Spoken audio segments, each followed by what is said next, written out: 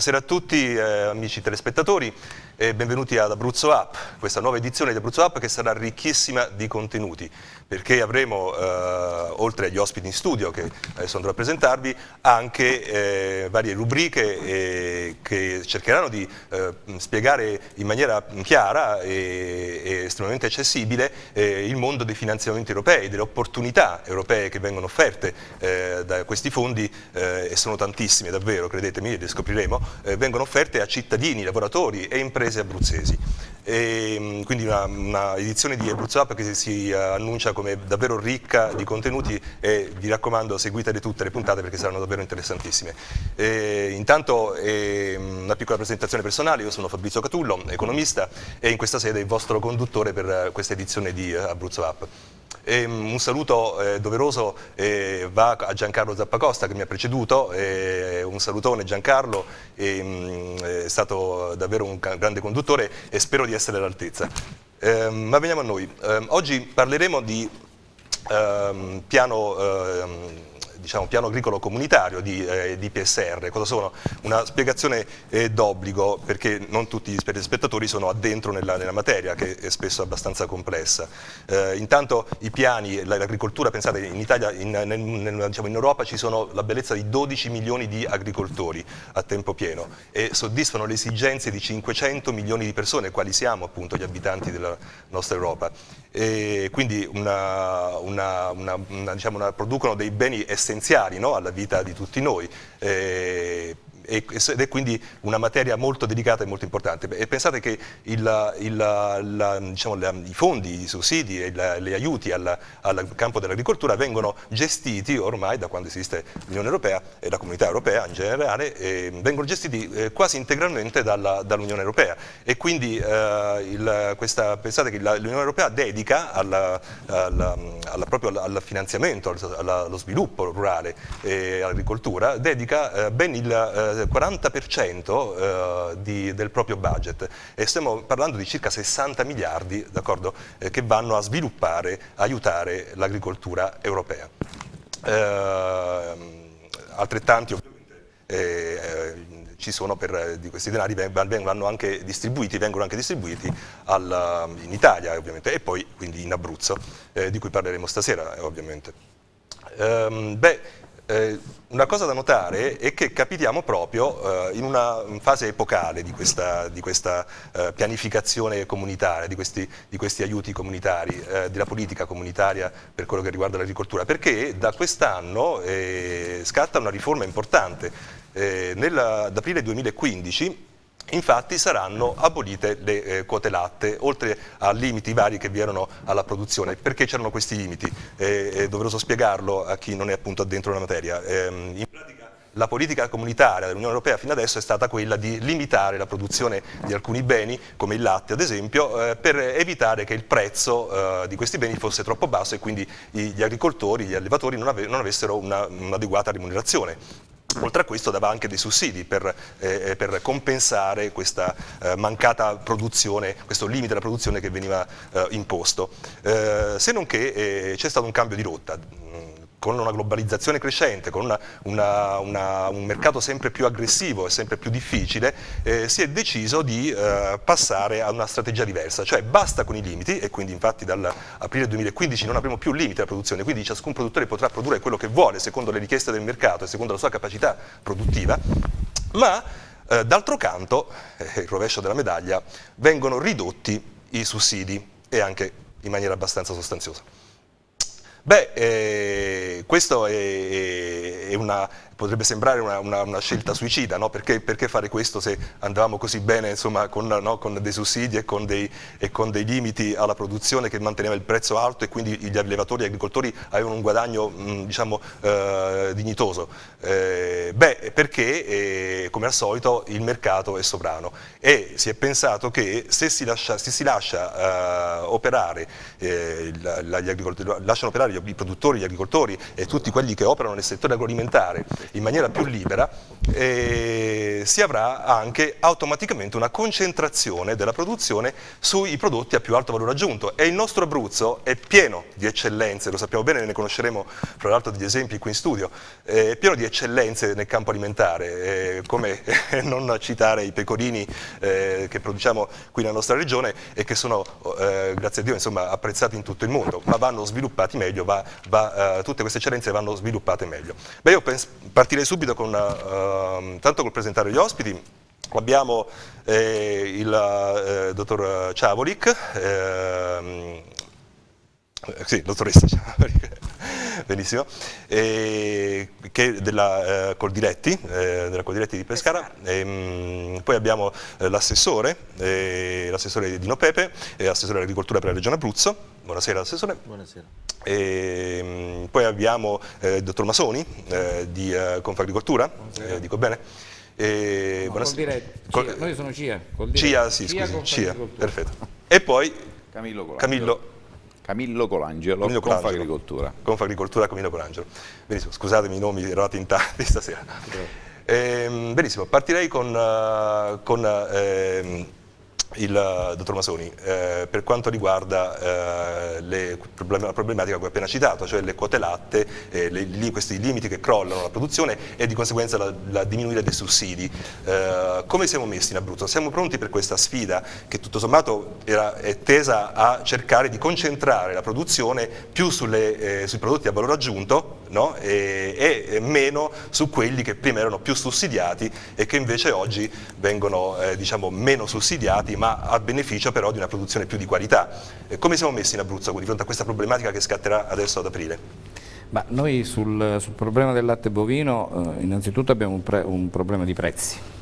Il prezzo che attualmente è pagato ai nostri allevatori non è assolutamente remunerativo rispetto ai costi, ai costi aziendali. Eh, in Abruzzo oltre a questo problema abbiamo l'esigenza, considerando che in Abruzzo ormai non vi sono più strutture di trasformazione che trasformano il latte, il nostro latte viene conferito a eh, trasformatori che sono ai confini dell'Abruzzo, o nelle Marche o in Molise. Abbiamo produttori, che, eh, trasformatori per altri prodotti che non sono il latte alimentare fresco. Noi abbiamo bisogno di fare in Abruzzo una filiera del latte alimentare fresco totalmente abruzzese. Questa può essere una possibilità per ristabilire un minimo di equilibrio.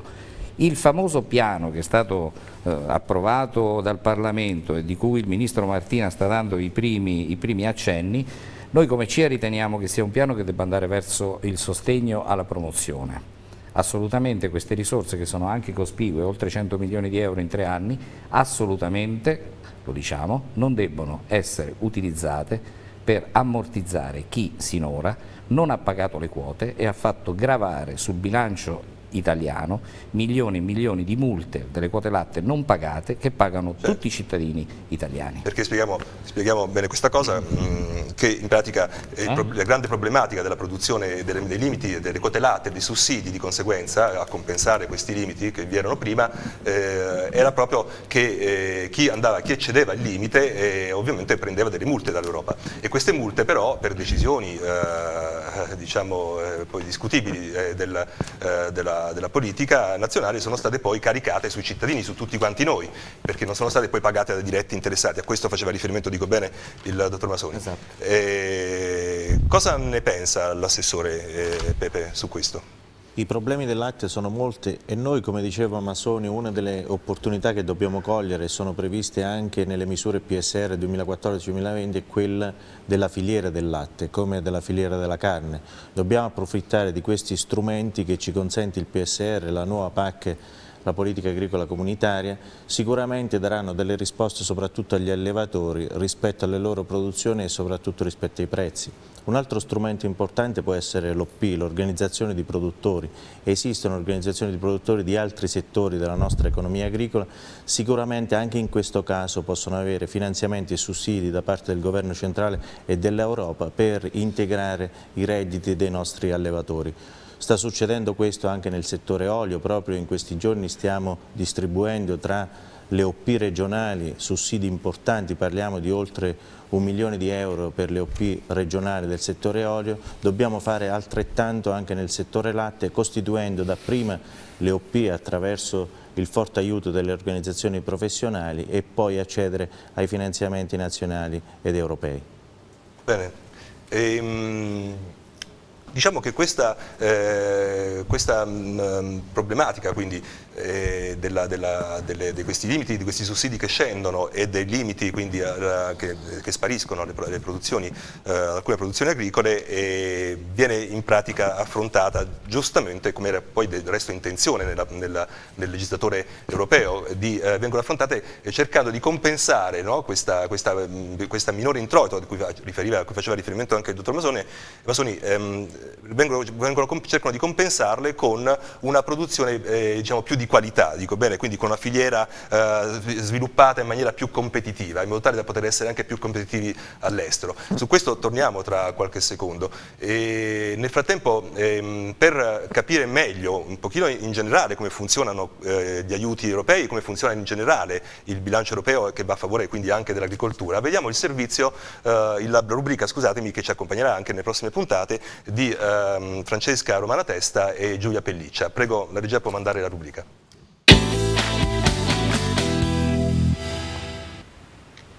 In Europa, come muoversi per imprese e cittadini, una rubrica proprio dedicata a quelle che sono le funzioni, soprattutto tutto ciò che si può fare per cercare di comprenderla e integrarsi. Con noi in studio c'è Giulia Pelliccia. Allora Giulia, noi parliamo di fondi europei, quanti soldi girano in Europa e la cosa più importante è cosa potremmo farci?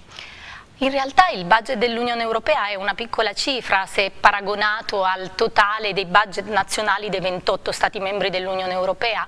Pensa è solo l'1% del totale dei beni e dei servizi prodotti all'interno dell'Unione mh, quindi una, una, cifra ingente in termini assoluti. Prendiamo ad esempio il bilancio dell'Unione Europea del 2014, era di circa 142 miliardi di euro, ma eh, una cifra diciamo piccola se paragonata al gettito fiscale italiano 2011 che invece corrispondeva a 750 miliardi di euro, quindi meno di un quinto del bilancio di una nazione come l'Italia, un bilancio ancora più piccolo di uno Stato come il Belgio o appunto diciamo, l'Austria, quindi gli Stati più piccoli dell'Unione. Praticamente quello che ogni Stato dà alla eh, comunità europea non servirebbe a finanziare nessun grande progetto. Eh, in realtà sì, l'Unione Europea raccoglie risorse dagli Stati membri e determina delle economie di scala, quindi presi singolarmente questi soldi non potrebbero mai finanziare un grande progetto come ad esempio il sistema, il sistema satellitare Galileo, il sistema satellitare europeo Galileo, ma piuttosto invece si riesce a raggiungere dei risultati più efficaci perché vengono finanziati dei progetti che per eh, la natura dei settori in cui vengono realizzati, appunto quello dell'energia, dei trasporti, effetti del cambiamento climatico possono produrre risultati più efficaci proprio realizzati a livello europeo, cioè sono progetti che per la loro natura travalicano i confini di uno Stato membro. Da un lato si parla sempre di più di somme crescenti chieste eh, ai cittadini, quindi di tributi, dall'altro però si parla anche di eh, tagliare le spese, perciò qualcosa non è chiaro. Sì, in effetti è vero, però teniamo conto che il bilancio dell'Unione, ad esempio il bilancio 2014 rispetto a quello del 2016, è diminuito di ben 6 punti percentuali, quindi c'è una uh, volontà appunto di uh, non andare a uh, diciamo, caricare gli Stati membri in un momento di crisi e eh, tanto più c'è da dire che eh, il bilancio dell'Unione Europea e quindi il contributo che ogni Stato dà al bilancio dell'Unione Europea resta una decisione sovrana degli Stati membri. Per contro invece gli Stati nazionali sia nel 2012 che nel 2013 hanno continuato ad aumentare la spesa pubblica, quindi il bilancio dell'Unione Europea ha tagliato e diminuito la spesa. Cosa importante, quella che si chiedono tutti, che un po' è anche una polemica, ma sono solo i cittadini a pagare? Beh, tecnicamente il bilancio dell'Unione Europea si compone di risorse proprie, quindi sin dal trattato istitutivo della comunità si è posto il problema di voler dare un'autonomia di bilancio alla, alla comunità. E eh, queste risorse proprie sono eh, innanzitutto i dazi doganali, noi sappiamo che l'Unione Europea è un unico grande mercato già a partire dal 1992, quindi eh, la politica commerciale è una di quelle politiche che sono di competenza esclusiva della Commissione, gli Stati membri cioè cioè hanno abdicato alla loro sovranità in questo campo. Quindi l'Europa impone una tariffa doganale unica. Ebbene, eh, la riscossione di questi dazi al netto delle spese di riscossione chiaramente costituisce un'entrata propria. Poi c'è l'aliquota sull'IVA nazionale, l'IVA nazionale armonizzata degli Stati membri e poi c'è la percentuale di ricchezza di ogni Stato membro, quindi quella percentuale di PNL che da ogni Stato membro dell'Unione va a finanziare il bilancio dell'Unione Europea e se è vero che eh, diciamo, quella, questa percentuale doveva essere all'inizio correttiva nei confronti delle altre due entrate, è diventata poi la principale entrata di bilancio con circa più del 70% appunto eh, di, di contributo al bilancio dell'Unione Europea nel 2013 come vediamo. Qualcuno si chiede ma poi questi soldi servono soltanto per gli stipendi da favola dei funzionari? Se lo chiedono tutti. Eh certo, beh anche qui il 94 4% del bilancio dell'Unione in realtà eh, finanzia gli investimenti sul territorio dell'Unione e solo il 6% eh, va a finanziare quelle che sono le spese amministrative dell'Unione, quindi gli stipendi ma anche il funzionamento degli immobili, compreso il Parlamento europeo. Eh, quindi in realtà anche qui se vogliamo il 6% è una piccola cifra, si pensi che in Italia eh, questa percentuale sale al 12% per il funzionamento degli organi costituzionali a cui si aggiungono poi trasferimenti agli enti pubblici pubblici. Ma l'Italia praticamente dà più di quel che riceve? Eh sì, e questo in realtà non è un mistero, basta collegarsi ad una qualsiasi sezione del portale dell'Unione Europea per vedere, ad esempio prendiamo i dati 2013, l'Italia ha versato circa 15 miliardi di euro all'Unione Europea e ne ha ricevuti 12 miliardi, però il nodo focale su cui puntare l'attenzione non è tanto questo saldo negativo di 3 miliardi di euro, che tra l'altro potrebbe essere accorciato se l'Italia partecipasse con un maggior tasso di successo ad altri programmi, ad esempio quelli di sovvenzione diretta, ma eh, quello che è importante sottolineare è che in realtà questa forbice si allarga, cioè i soldi che tornano sono ancora meno, proprio perché l'Italia, tutte le regioni, in genere chi più chi meno, hanno una capacità di spesa che supera di appena il 50%, quindi i soldi che tornano sono molto meno in realtà, quindi va puntata l'attenzione sulla capacità di spesa dell'Italia. In qualche modo è come dire finché si resta dentro bisogna imparare a gestire meglio quelle Esattamente, sì, eh, è proprio questo il punto, eh, anche perché eh, diciamo che cosa c'è di virtuoso? In queste risorse che tornano come contributo dell'Unione Europea allo Stato italiano in virtù di quello che lo Stato italiano ha dato come percentuale della propria ricchezza, del proprio PNL, ebbene queste risorse tornano eh, con una quota aggiuntiva perché in virtù del cofinanziamento lo Stato italiano deve porre eh, diciamo, un'uguale eh, cifra cifra, un uguale ammontare di soldi a quelli che vengono dalla Commissione europea nella realizzazione del, delle politiche strutturali. Allora eh, cosa succede? Che mh, mm, diciamo, ci si trova così a disposizione una quantità notevole di soldi per progetti di investimento sul territorio e eh, nessuno ci assicura che i governi nazionali spenderebbero quelle cifre a vantaggio delle imprese e dei cittadini se non le dovessimo più destinare a contribuire appunto al bilancio dell'Unione Europea. Quindi si parla anche in questo caso di un bilancio bilancio trasparente e soprattutto a disposizione dei cittadini. Eh sì, sì senz'altro, se dovessimo riepilogarlo, quindi il bilancio dell'Unione Europea è diverso dai bilanci nazionali perché innanzitutto non accumula debito, non è mai disavanzo, spende solo quello che riceve. L'altra cosa importante da sottolineare è che è un bilancio di investimenti, il 94% di questo bilancio torna sul territorio, quindi in progetti di investimento per il territorio, le regioni dell'Unione Europea e ancora è importante sottolineare che il bilancio annuale annuale viene eh, adottato nel quadro di un, appunto viene adottato nell'ambito di un quadro pluriennale finanziario, quindi c'è una programmazione che in genere va su sette anni da parte della Commissione europea che porta a fissare dei massimali di spesa per rubrica, quindi il bilancio in questo modo c'è la prevedibilità della spesa, viene, eh, diciamo, fissato, viene adottato un bilancio annuale, vengono decisi dei massimali di spesa e questo bilancio viene destinato alle rubriche che poi sono quei fondi di cui abbiamo tante volte sentito parlare, si pensi a nomi come Erasmus, Life, fondi strutturali. E allora questa rubrica in qualche modo ci aiuterà a capire come si spendono i soldi in Europa? Sì, esattamente Francesca. E ehm, appunto ehm, riallacciandoci al tema di Abruzzo Up di stasera, il bilancio dell'Unione Europea finanzia ad esempio il Fondo Europeo Agricolo per lo Sviluppo Rurale che sostiene appunto il reddito delle aziende agricole, eh, dei cittadini che vivono nelle, nelle, zone appunto a vocazione agricola, eh, che va eh, a mm, finanziare progetti eh, in tematiche sempre più importanti come quelle della gestione delle risorse idriche, rubriche del cambiamento climatico e tra l'altro noi anche con questa rubrica mano a mano che saranno pronti e saranno pubblicati i bandi della programmazione 2014-2020 ve ne daremo notizia e vi daremo anche eh, dritte e suggerimenti su come utilizzarli al meglio. E allora l'appuntamento per la settimana prossima con Giulia Pelliccia che ci spiegherà ancora un nuovo passo, noi invece ridiamo la linea a Fabrizio Catullo. Bene, grazie Francesca, grazie Giulia. E, mh, torniamo quindi in studio, hanno parlato giustamente nella parte finale della loro eh, conversazione eh, della, delle, dei fondi eh, dedicati, dedicati, proprio all'agricoltura. In particolare scendiamo, abbiamo, siamo partiti dal piano generale comunitario, quindi finanziamenti eh, direttamente erogati dalla comunità europea, eh, ma c'è, dall'Unione Europea scusatemi, ma ehm, c'è anche il piano di sviluppo rurale che è più invece regionale, cioè sono quei soldi che comunque vengono eh, erogati dalla comunità europea e insieme a fondi anche statali e regionali eh, vengono poi eh, spesi sul territorio specifico regionale, in questo caso appunto il nostro Abruzzo.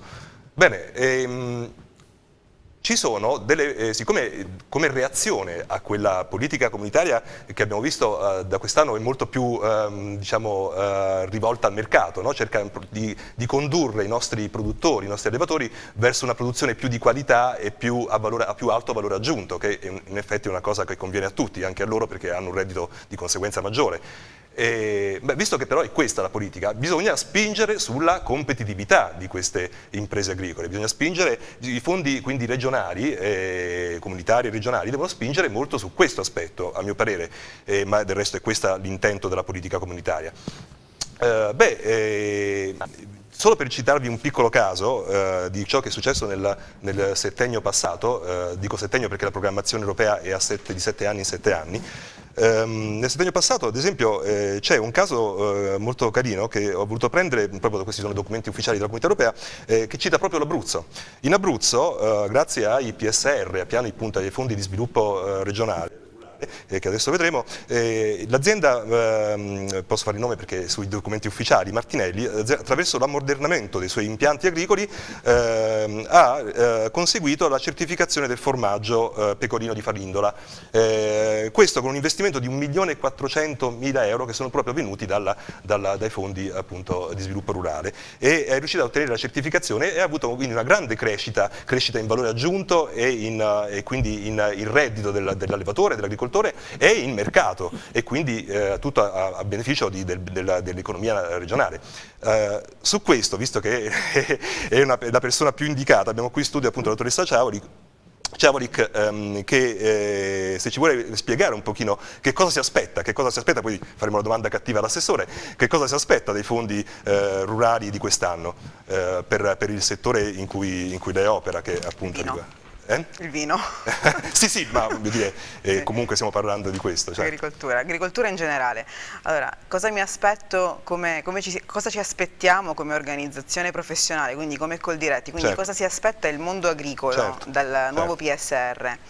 Uh, si aspetta innanzitutto, come dicevamo prima, una valorizzazione delle filiere, eh, perché solamente in questo modo, soprattutto noi come Coldiretti ci aspettiamo una valorizzazione. Quindi... Può fare un esempio per, per, il pubblico, per far capire meglio, perché spesso quando si parla di valorizzazione delle filiere, no? chi non allora, è addentro non, non capisce, ma che vuol dire? Specifico ancora okay. meglio, noi ci aspettiamo una valorizzazione della filiera corta, cioè far sì che eh, si valorizzi il prodotto eh, tipico made in Italy italiano del territorio eh, in modo che il prodotto vada senza più tante intermediazioni dal produttore al consumatore, quindi che esso, si chiami, che esso si chiami pasta, che esso si chiami carne, latte, E come si vino. può attuare? Un esempio veloce, come si potrebbe attuare per esempio? Eh, con, maggiore, con un maggiore sforzo per far avvicinare il consumatore e il produttore, senza intermediazioni di termine, quindi far sì che il prodotto agricolo venga valorizzato perché non, non essendoci passaggi intermedi e figure che nell'intermediazione guadagnano 5 volte tanto rispetto certo. al produttore, certo. il produttore abbia un giusto compenso rispetto a quello che produce. Quindi fondi... oggi, come, oggi sì. come oggi il produttore è quello che si mette in tasca la minor parte la minor del parte. prezzo del prodotto finale, certo. cioè se un prodotto parte eh, a X eh, dalla campagna si ritrova sugli scaffali del supermercato, comunque sul certo. mercato a Y, tra X e Y ci passano 100, di cui due vanno in mano al produttore e, e 98 se li dividono tutti quanti gli altri. Certo.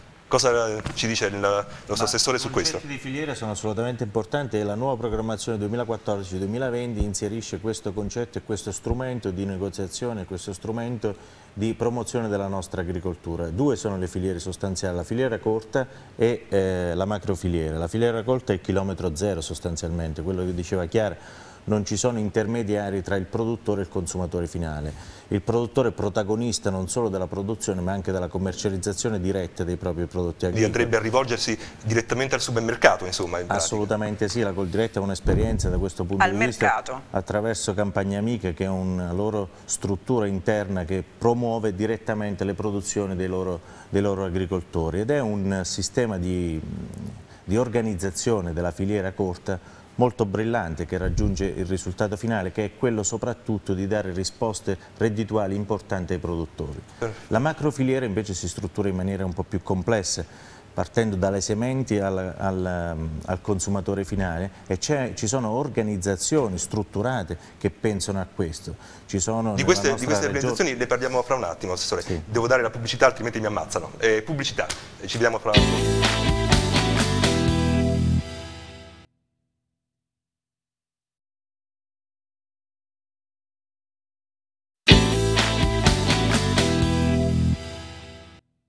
Ed eccoci qui di nuovo in studio.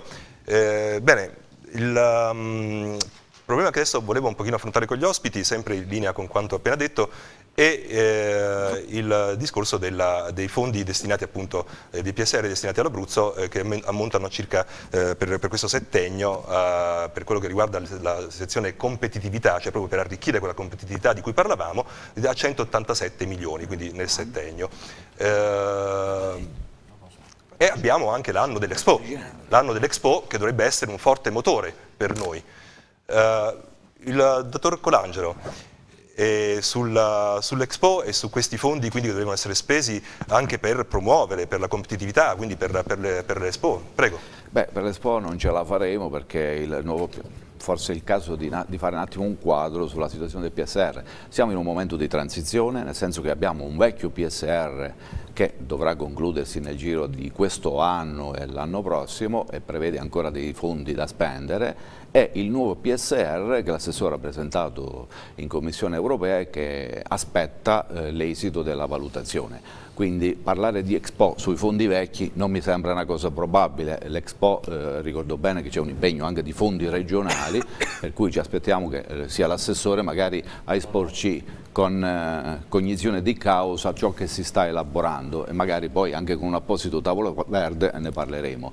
Sui fondi vecchi eh, noi come organizzazione abbiamo qualche perplessità perché ci sono circa 100 milioni di fondi di spesa pubblica ancora da, da spendere per la famosa regola dell'N più 2, quindi sarà il caso di, anche, di affrontare questo problema per scorrere qualche graduatoria in essere, per stabilire anche le modalità in modo da evitare che si arrivi eh, all'ultimo momento perché poi avremo i nostri agricoltori, le nostre imprese agricole che magari non riusciranno a spendere dato il eh, breve periodo che potrebbe rimanere per la fine del conteggio dell'N più 2. Sul nuovo PSR eh, chiaramente siamo in attesa di avere l'esito, eh, giorni fa l'assessore è stato su in commissione, quindi avrà anche qualche notizia più fresca magari da darci eh, e ovviamente eh, non lo potremo utilizzare per questo Expo, magari per l'altro sicuramente.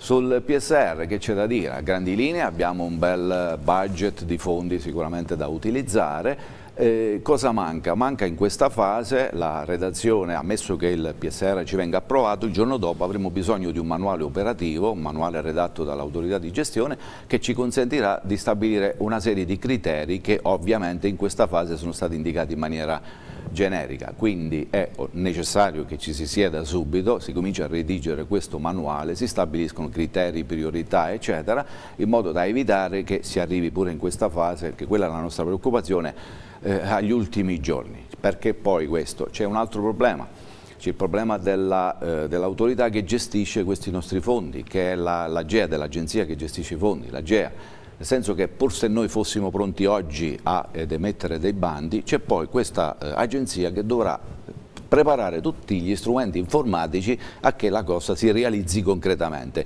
Quindi prima noi siamo pronti con criteri, priorità e meccanismi di, eh, di graduatoria, quindi di elargizione consecutiva dei fondi e prima metteremo anche in in condizioni l'AGEA di stabilire queste procedure informatiche che spesso, eh, questo purtroppo è, un triste, è una triste realtà, ci creano dei grossi problemi queste procedure.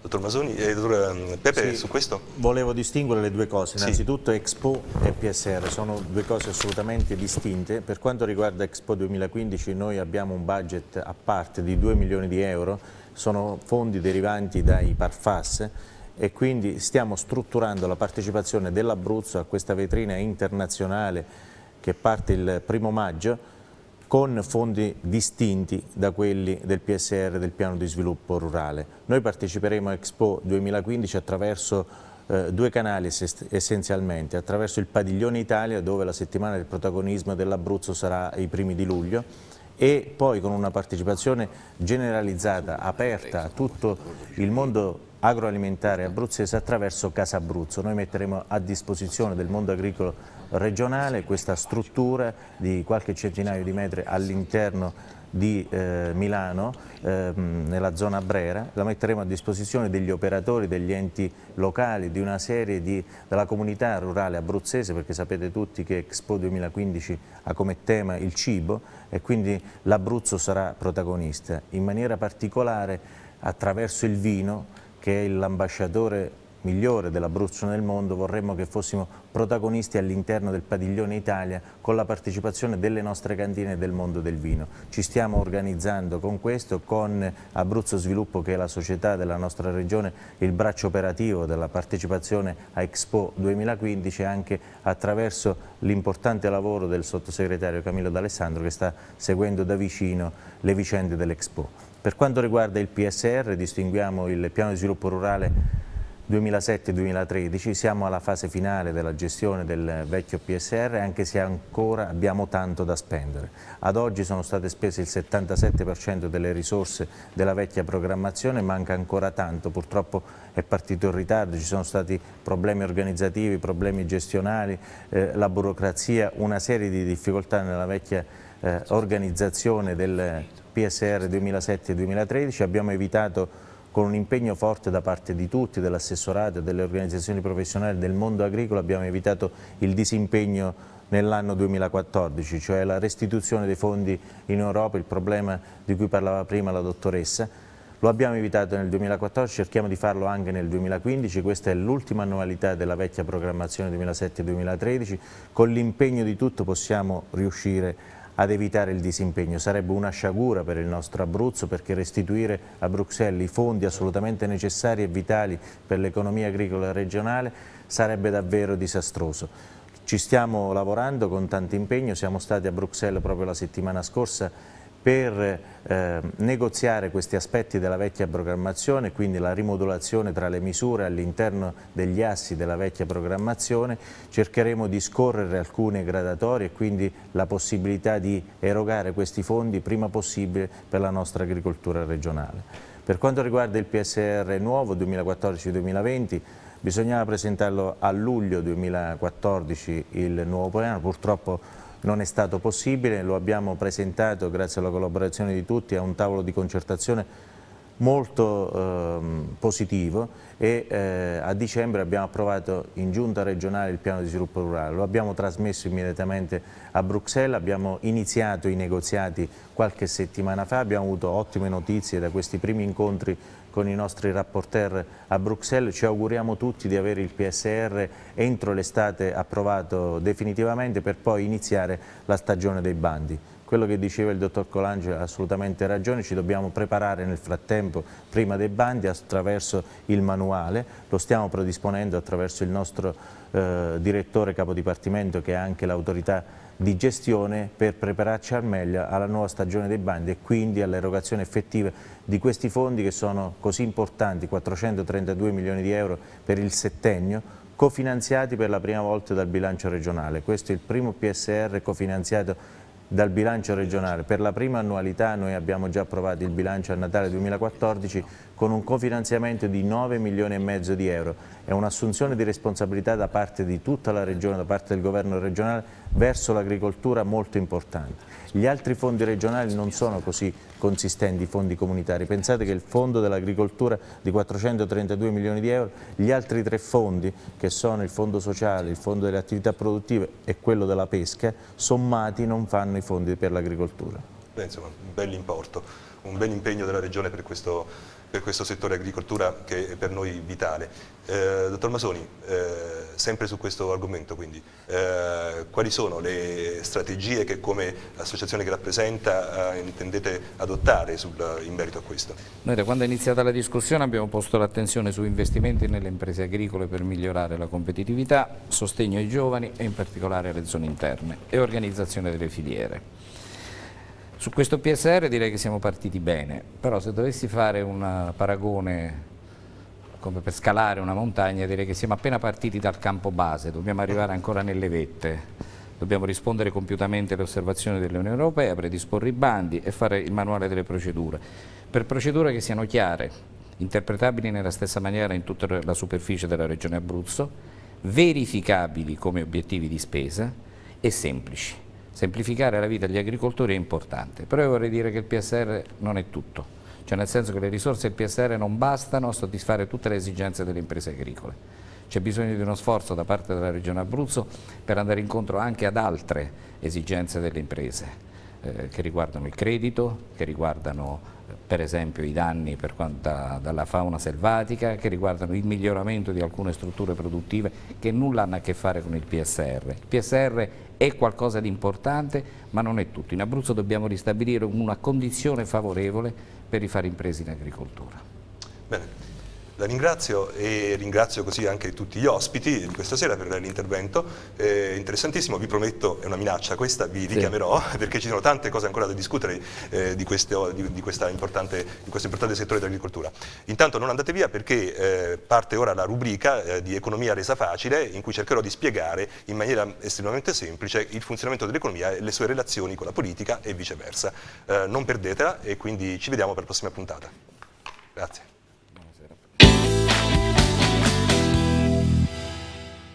There's an old Wayne Gretzky quote I love. I always skate where the puck will be, not where it's been. La frase che vi ho appena citato è una celebre frase di Steve Jobs, il noto genio eh, creatore della Apple eh, creatore del resto, penso che tutti lo conosciate, dell'iPhone, dell'iPad, di tutti questi eh, strumenti moderni di comunicazione e, e, di navigazione su internet, quindi un grandissimo genio che sappiamo ha rivoluzionato il mondo. Beh, eh, lo si vede che è un grande genio anche nella, in ciò che diceva, per esempio la frase che vi ho citato vuol dire proprio quando sono in gioco corro sempre lì dove la palla sarà, non dove è stata. Questo va a significare che eh, bisogna essere padroni del gioco, bisogna eh, non farsi dominare ma essere sempre un po' avanti rispetto alla situazione contingente, riuscire a anticipare gli eventi per essere davvero eh, padroni della situazione.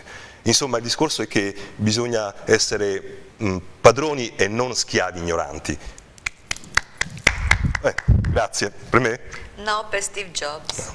Vabbè, ma del resto se lo meritavano. Certo perché era un grande genio e, e appunto eh, il senso, eh, la grande eredità che ci ha lasciato è proprio, la vedo molto in questa frase che vi ho citato, cioè il fatto di, essere, eh, di, essere, ehm, di avere sempre un qualche cosa che ci proietta in avanti. Eh, perché dico questo Antonella?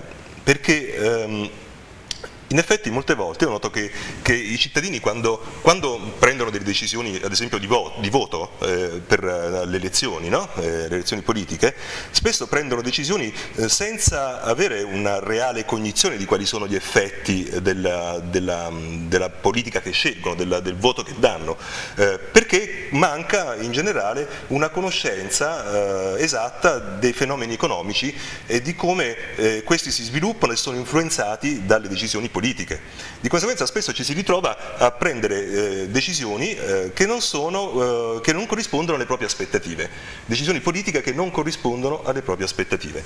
ecco, quello che intendo fare in, questo, in questa rubrica che inizia eh, oggi con questa puntata eh, amici ascoltatori, è proprio questo, cercare di, ehm, di eh, spiegare in, in, maniera molto semplice eh, i principi base dell'economia, eh, ma anche quelli avanzati, perché vedrete che andremo anche abbastanza in profondità eh, e spiegarli però in modo molto molto semplice, in modo tale da eh, fornirvi le basi di conoscenza necessaria per prendere decisioni politiche, perché poi l'economia si riflette nella politica e viceversa, prendere quindi decisioni politiche eh, consapevoli, consapevoli, perché vedo che questo spesso nei cittadini eh, manca. Ehm, proprio perché manca questa conoscenza di base che vorrei cercare di colmare come, come lacuna e lo cercherò, cercherò, di farlo insieme alla nostra Antonella. Eh, beh, in questa prima puntata cominciamo proprio a vedere le basi, no? cominciamo a vedere come in uno Stato si forma eh, una ricchezza e come si distribuisce questa ricchezza. Um, per esempio possiamo immaginare eh, di eh, essere in una repubblica che chiamiamo repubblica felice, uno stato ideale, eh, prego la regia se può mandare il cartello 1, ecco, noi siamo una repubblica felice, questa repubblica è fatta di cinque persone, per essere molto molto eh, semplici nell'esposizione facciamo una repubblica composta da soltanto cinque soggetti, d'accordo? Così saranno facili tutti gli altri esempi. Eh, bene, tu Antonella, eh, se fossimo in una repubblica di cui tu eh, fossi la presidentessa, no?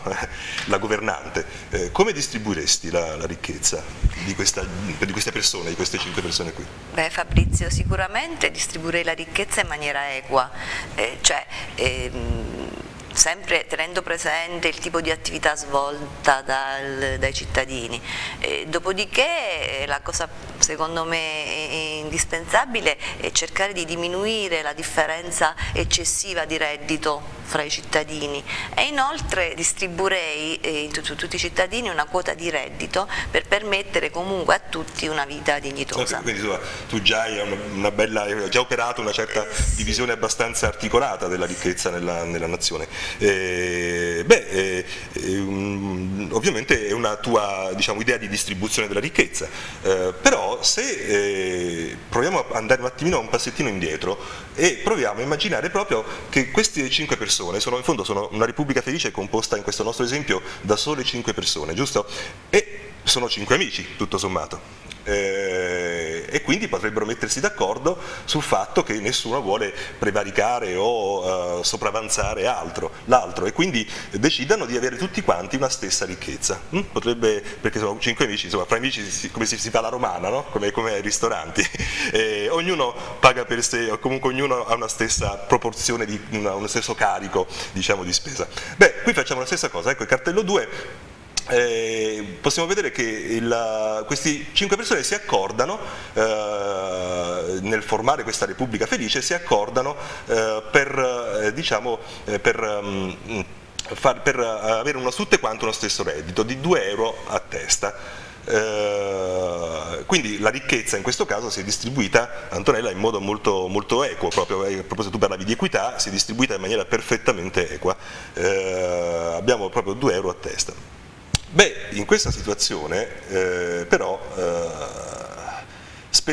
molto, presto, molto, presto, noteremmo che eh, la cosa non può andare molto avanti eh, a lungo, perché? Perché eh, eh, tu per esempio in una situazione del genere che cosa noteresti? Che, quale, quale, prima percezione hai di una situazione del genere? Perché secondo te non potrebbe durare molto a lungo una, una situazione in cui tutti quanti hanno esattamente lo, la stessa ricchezza? Perché praticamente ehm, tutte, tutti quei cittadini che avrebbero delle idee imprenditoriali, che vorrebbero fare eh, qualcosa per emergere. Che vogliono emergere, dici tu, eh, si accontenterebbero no, no, di essere come gli altri. Diciamo. Assolutamente. Benissimo, infatti il concetto espresso da Antonella è un concetto uh, che forse è un po' eh, dentro l'animo di ciascuno di noi. Eh, è vero che il senso di equità soddisfatto dall'avere tutti quanti una stessa proporzione di ricchezza, una stessa porzione di ricchezza è certamente soddisfacente la, eh, il, sensus dell'equità eh, di, di, ciascuna persona, di ciascun essere umano, ma è anche vero che così, in questo modo, si eh, tarpano le ali no? a, magari, eh, a coloro che magari hanno qualche idea per, per, emergere, per far valere delle capacità che magari hanno di diverso o, di, o in più addirittura di altri. Beh, eh, in effetti eh, questa situazione renderebbe un po', alla fine, alla fin fine renderebbe, renderebbe insoddisfatti eh, quasi tutti, diciamo, perché sì. l'avere tutti quanti la stessa porzione di ricchezza eh, renderebbe subito, eh, il, il, farebbe subito percepire a tutti quanti il senso della, della, della eccessiva uguaglianza e quindi dell'impossibilità di emergere, di esprimersi, ecco, di esprimersi. Ma in fondo anche il caso in cui proviamo a immaginare una ricchezza un po' diversa, un po' più distribuita, no? facciamo finta che, eh, ad esempio, ecco, possiamo pure immaginare uno Stato, la nostra Repubblica felice, eh, in cui eh, la stragrande maggioranza delle persone, facciamo 4 persone su 5, sono, ecco qui il cartello, 4 persone su 5 sono ricche, nella, voi immaginate che il totale di questa ricchezza di questa nazione è 10 euro, okay? prima avevano 2 euro a testa, ma abbiamo visto che la situazione non era soddisfacente perché la gente si sarebbe sentita un pochino limitata no? nella, nella propria espressione personale delle proprie capacità. Bene, ma anche il caso, se ci facciamo un pochino attenzione, anche il caso in cui 4 persone di questi 10 euro di reddito totale della nazione, 4 persone abbiano 2,25 euro a testa e una soltanto rimanga un po' indietro, rimanga un po' indietro e abbia soltanto un euro di ricchezza, di reddito. Beh, anche in questo caso, eh, tutto sommato, eh, sarebbe forse così soddisfacente il fatto che tutti quanti, o quasi tutti tranne uno, quindi quattro quinti della popolazione sono ricchi, sono effettivamente molto benestanti? Secondo te Antonella sarebbe soddisfacente questa situazione? È un po' più vicina a quello che intendevi tu? Cioè, qui abbiamo quattro persone che si sono arricchite perché so, hanno lavorato, hanno, hanno, inventato, hanno fatto imprese e, e sono adesso quattro persone ad avere 2,25 euro su 10 euro, il che vuol dire che 9 euro sono distribuite su quelle quattro persone e c'è una sola persona povera. Secondo te com'è, com'è, com'è questa situazione? È soddisfacente per, per, il tuo punto di vista? No, secondo me no, perché comunque c'è sempre un'omologazione.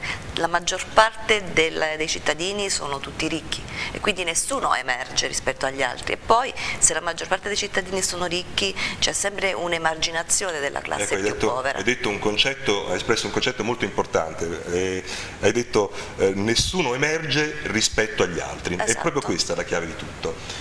Uh, Thomas Hobbes, un filosofo del Seicento, uh, diceva uh, una, frase che a molti è nota, homo homini lupus, cioè ogni uomo è lupo rispetto a un altro uomo, cioè esprimere la tendenza di ciascun essere umano, tutto sommato, una tendenza naturale, non c'è nulla di malvagio in questo, è una tendenza naturale di ciascun essere umano a cercare di eh, prevalere sull'altro, a cercare in qualche modo di distinguersi, perlomeno di distinguersi dall'altro.